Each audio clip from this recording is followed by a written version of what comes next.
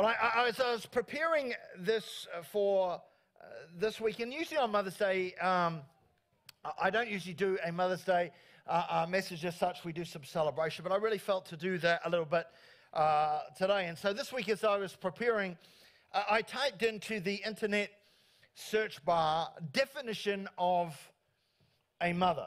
Definition of a mother. And I was really asking the question a mother is what? A mother is what? Or what is a mother? And uh, I was looking for a core de- definition. How many know definitions are important in these, uh, this day and age? And uh, I know, and just, just to um, put a little, uh, uh, or, or, say something before I preface the message, I realize that motherhood is more than all that I am going to talk about uh, today. So please understand uh, that. But I'm really focusing, I guess, from, from this, what I read in those definitions as to expand out. That's what I'm sort of talking around uh, today. And so I do want you to understand, I, I understand it's far, far bigger and far, far more involved than uh, uh, that. But here's when, when I put that in the search bar, here's what the Collins Dictionary definition said when I, uh, when I put in what is a mother. So, a mother, the Collins Dictionary says, a mother, a woman who has born a child. That's what the Collins Dictionary uh, has uh, says. Yourdictionary.com says this mother, a woman who gives birth or who has the responsibility of physical and emotional care for specific uh, children. And so that, that covers a whole sphere as well. But, but basically, both of those definitions and pretty much all the other definitions began that way a woman who gives, gives birth. And as I've said, I understand it's far, far more than that. But, I, but can I just say, giving birth is a big deal? I, I mean, I, so I've heard. So, so okay, but, but, but giving birth is a big deal. I was with my wife when she gave birth to all our three amazing children, and I do need to say that wasn't all at the same time. That was there, there was a, a year or two in between those, but I was there in that moment. All of our three children were born in beautiful India, as many of you will know. But I, I remember the day Gia my daughter sitting next to me here arrived on the scene. And isn't it good that Grace is having? Do you know there's quite a few babies coming? Slippers of 50, and I'll tell you. After the, so I know some stuff. I know some stuff. I want to, I want to, I want to tell you that red traffic light setting it caused some problems. I'm just saying right, uh, right now, right now. But I, I, but, but I was there when, when, when Gia was born. I was in the uh, room. And um, I, I, remember Anita, we, she, we were in our apartment. She, it was the morning, early morning. She's like, the baby's coming, baby's coming, the baby is coming. And so I'm, I'm like, okay, right. We, we didn't have a car. We were living in India, we were missionaries. We didn't have a car. All I had was a motorcycle. And so I had to get her uh, uh, to that hospital. And I didn't want, there was no way I was going to take her in a motorized auto rickshaw. No way. I was, no, no way I was going to take it with a, in a motorized auto rickshaw with a maniac driver. See, you've got to understand, I've in those things, I've rolled them, I've seen, seen you know, so I was like, there's no way I'm putting, putting my wife and my new child in one of those auto rickshaws. So I said, honey, you're in labor, get on the bike, get on the motorcycle, let's, uh, let's go. And so you've got to understand when she's riding the motorcycle, she, she didn't, you know, throw a leg over, she sat side saddle on my 125 Suzuki, or Suzuki as they say in India, uh, she got on side saddle. In fact, that's how, when all our kids were born, that's how we used to go to church. You think it was tough to get to church today? I want to tell you. When we used to go to church on my motorbike, how did it work? I, I would sit on it, then Gia would put Gia here, right here. She'd sit on the tank, and then Grace would sit right behind me, and then Anita would sit side saddle and put Reuben on her knees. That's how we did church every uh, safety first, people. Safety, safety first. But that's how we went. So I put Anita on the motorbike. We went off because you got to understand that the, the traffic in India is insane. It's insane. And we're in a city of 9 million people. It was just crazy. But anyway, we got to uh, the hospital, right? And, and by the time we got to the hospital in the birthing room, I've, I've got to be honest. I've got to be honest. I, I kind of felt useless, to tell you the truth. Yeah, yeah, I, I, I held her hand I held her hand and said, You'll be, you'll be okay. She spoke rather harshly back, uh, back to me, but, but, you know, which wasn't very helpful, quite frankly. So it's debatable whether I was helpful or not, but, but that's how, how it was. And, and in all seriousness, can I say this?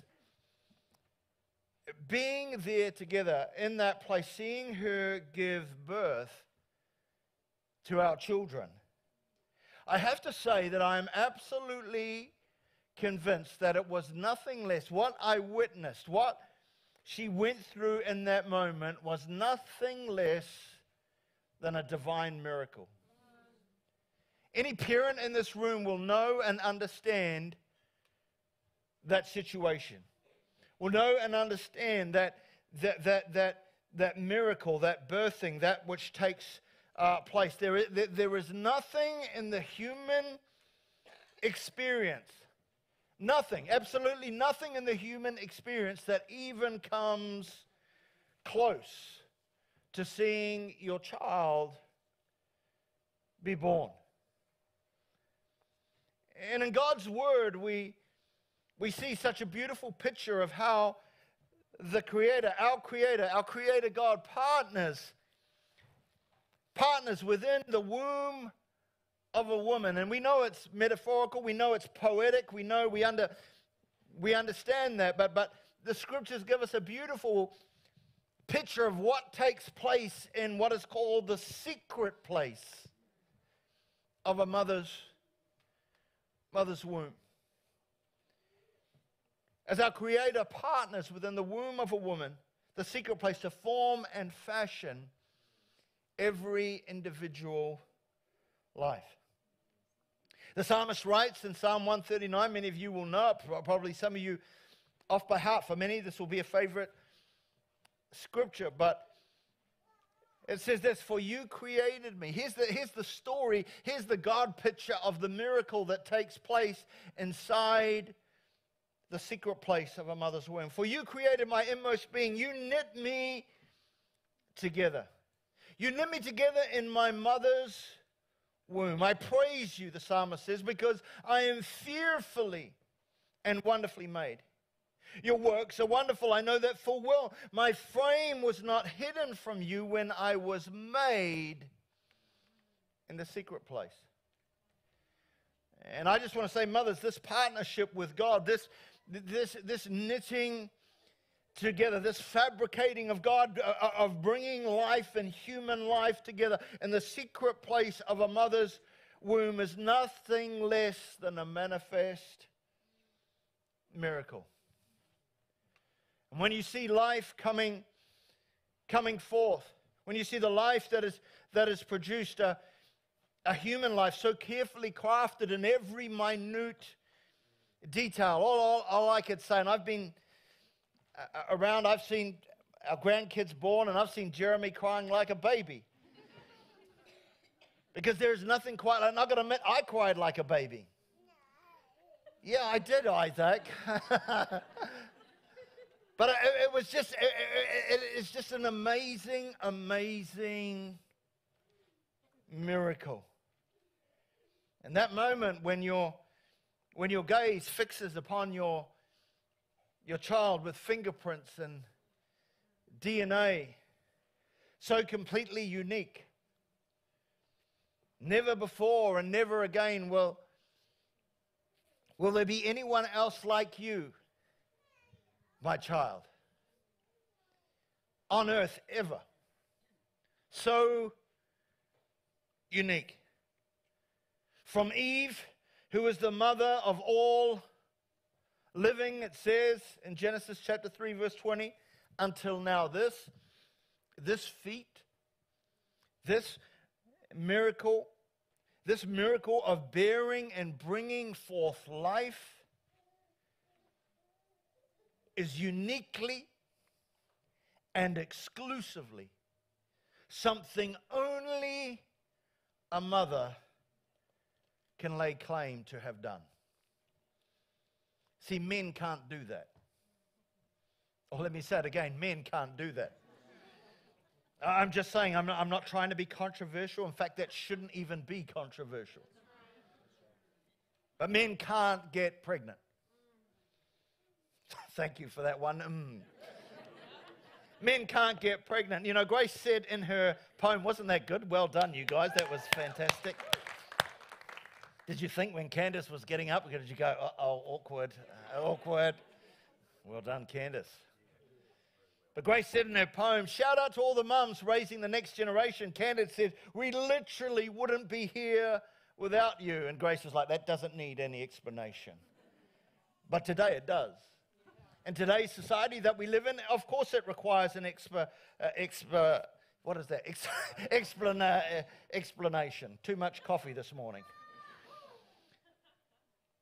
In the age we live, it definitely requires an explanation. Men can't give birth. And I, I have to say that because even when I was preparing that and I typed in birth, men can't give birth, up pops emojis of pregnant men. And I, am like, this is the world that we are uh, uh, uh, uh living, uh, living in. And friends, I'm going to tell you that's ideology, not biology. Men, men, and some of the men are going, Thank you, Jesus. But men can't give birth, and they're saying, Thank you, Jesus. Amen. Hallelujah. That's ideology, not biology. Men can't have babies. I want to just say this should not be controversial. I don't hate anyone. I'm not trying to hurt anyone. It's just biology. And, and can I just say to, to, to the mothers here among us, again, when I see all this and the, all the stuff going on, I, I just, I'm just saying, mothers, I don't want, uh, mother, let no one steal your thunder.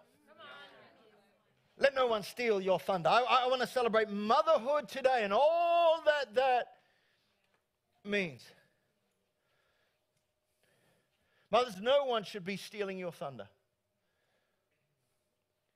Someone said motherhood ain't easy. If it were, fathers would do it.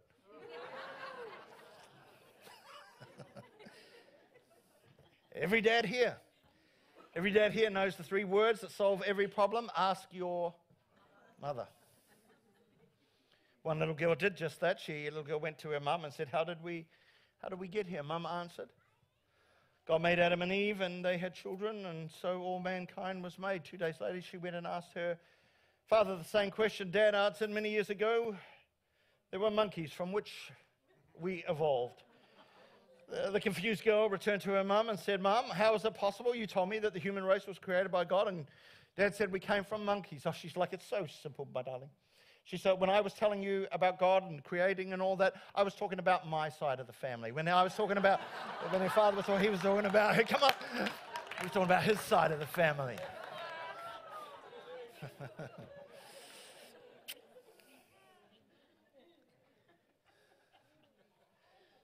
I just want to say today and make sure you know, mums, that you're awesome, that you're special, that you're unique, that no one should steal your thunder for that which you have walked through.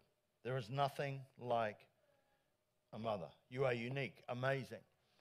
And we want to honor you today. In fact, the scriptures teach us that mothers and motherhood is to be honored and to be held in high regard. God gave 10 commandments. He gave 10 commandments to, to uh, these are like 10 things that are important about life. 10, 10 things, 10, 10 commandments. And right there in the middle of those, commandment number five is this honor your father and mother. Smack dab in the middle. Honor your father and mother. Doesn't mean they got everything right, doesn't mean they had it all together. To honor means to give weight, to add weight to something. It's not looking at what's wrong, and I'm sure there's all stuff that we could have done better or should have done better or whatever. But to add weight is to, to add weight to the good. To add weight to the good. Honor your father and your mother, that your days, listen, here's what it says, that your days may be long in the land that the Lord your God is giving you, that you may live a long long life. As I thought about that very deeply, I thought because you're gonna, if you're naughty, you're gonna live a short life when your mother picks you up by your, uh, your life could be very short if you're being a naughty, naughty person. And see, I want to say today, our society seeks to belittle mother, uh, motherhood, to devalue it, to make it as if uh, having a career is way more important. And, and don't get me wrong, don't write me a letter. Don't write, please, please. I understand. I have no problem with anyone having a career. But at the same time, I want to just say to all the mothers, it is a glorious job that you are doing. It is a fantastic job that you are doing. And it needs to be, it needs to be honored and, and, and, and talked about and expressed. See, the scriptures are clear that moms are to be honored, to be held in high regard. Proverbs 31, verse 28 says, Her children arise and call her blessed. And this is a, day where we as, we as children, as all of us are children of somebody, can rise and say, Blessed. Blessed. And maybe your mum's not here, maybe she's passed away or whatever, but we can, we can stand today and say, Blessed. Her children arise and call her blessed. Honor her for all that her hands have done. And so that's what we're doing here today, mums. We thank you for all the mahi you have put in. Of course, as I've said, there is so much more to being a mum than giving birth. In Judges chapter 5 of the Old Testament, it speaks of Deborah, who was a prophetess. She was a warrior. She was a, she was a judge. And in Judges 5, verse 7, it tells us there's what's called the Song of Deborah, and it tells us that in the villages of Israel and in the villages and the, the towns that people were basically sad and, and, and, and depressed and oppressed and stressed out. There was no life in those villages. It says, until, until Deborah arose as the mother of Israel. So I understand that motherhood is far more than just giving birth. I understand that to, Deborah was a mother to a nation. And like I've said, there is so much more to being a mum than just giving birth. Mum's love, mum's nurture, mum's protect. Humorist Erma Bombeck said this when I think about mum's protect. They said, when your mother asks, Do you want a piece of advice? It is a mere formality. It doesn't matter if you answer yes or no, you're going to get it anyway. And all the mums said, Amen. Amen. Mums know stuff. Mums know stuff. Like, like, like, like mums know silence is golden, except if you have kids, silence is then just suspicious. Yep, that's, that's just how it is. They, they, they, they know that. And, and, and, and here's the thing with, with mums, you just don't mess with mums. You don't mess with mum. A, a police recruit was doing his final final exam, and he was asked the question, What would you do if you had to arrest your mother? And he said, Call for backup. okay? Nobody messes with mum. And the truth is, mums, you are like the glue, often unseen, but holding the family together. Mum's love, mum's comfort. In fact, God, God's word says in the book of the prophet Isaiah, in Isaiah 66, verse 13, as a mother comforts her child, so will I comfort you. I like this that God is comparing the comfort that He gives to that of a mother. That's the picture God gives. That's how special that kind of love is. And so, mothers, today we're just saying mothers matter. Mothers matter. Turn to a mother near you and say, You matter. Oh, come on, say it like you believe it now. Come on, just tell you, you matter. You matter. Truth is today, mothers matter. And today, today is just a day where we, where we pause as a nation to make sure every mum knows that. And so, to all the mums here today. Happy Mother's Day. And literally, as has already been said, we just wouldn't, actually, we just couldn't be here without you. Could the keyboards come? The keyboards can't. Can the player come? The keyboard can't. The keyboard just stays there exactly where, where it is. It can't move. It actually can't move unless we put wheels on it which it hasn't got. Thank you, AJ. With the keyboard player come. Can we just honor one more time all the mums in the house? Hallelujah. Hallelujah. Thank you, Jesus. To all the visiting mums, too. Hey, you're welcome to come. You don't have to come once a year, too. You can come every Sunday uh, if you want to. Every day's Mother's Day here on Sunday. I want to tell you, we uh, want to bless you. Friend, we do church every week. Why? To bring glory and honor to Him. So as we honor moms today, we also want to, I want you to know as a pastor, the primary reason we're here is to honor Christ and to honor King Jesus. He is worthy of all praise, honor, and glory.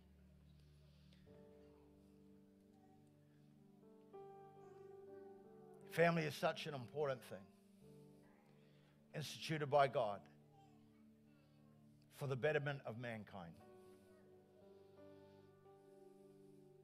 Our world is in such a mess in so many areas.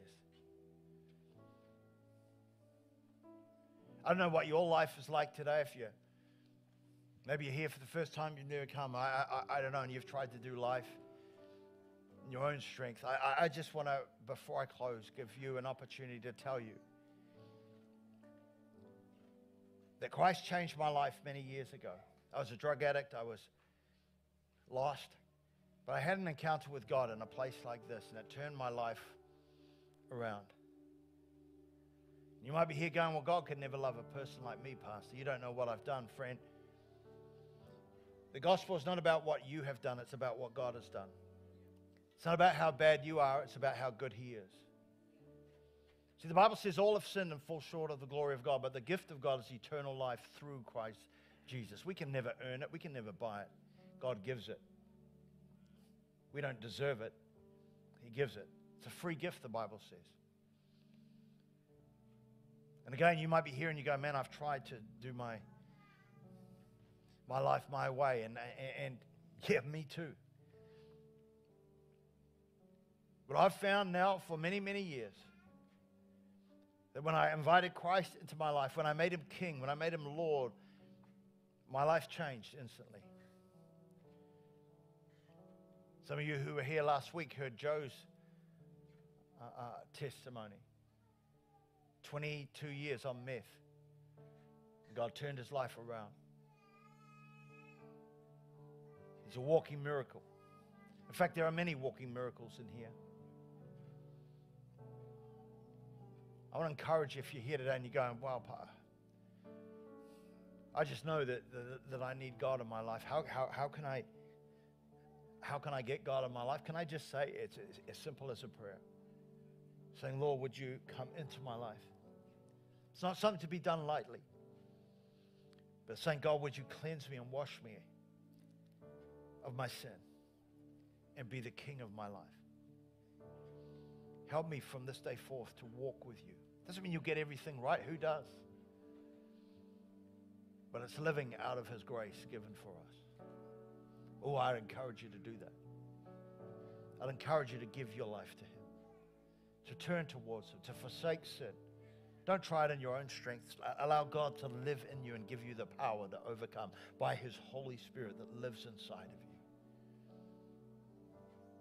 Let Christ change you and turn your life around.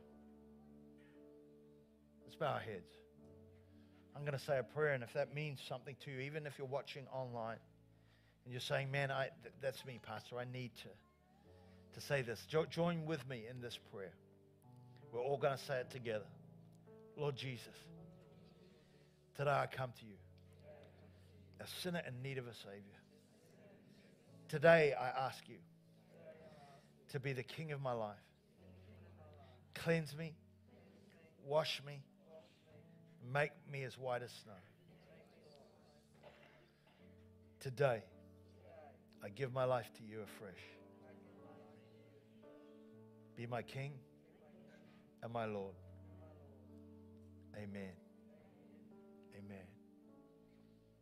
Would you stand?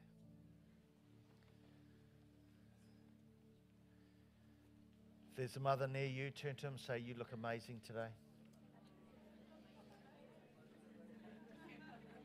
And remember, your plants are out there, made with love. But as we close, let me pronounce this blessing over you. If you're comfortable, just put your hands out like this to receive that which God wants to do. If you need prayer for anything after the service, there will be a prayer station over there and they will pray for you for any need at all. Don't have to be a part of the church to go to the prayer prayer station. The Lord bless you. The Lord keep you. The Lord make his face shine on you, especially mothers today, and be gracious to you. And the Lord turn his face towards you and give you peace. And everybody said, Amen. Amen.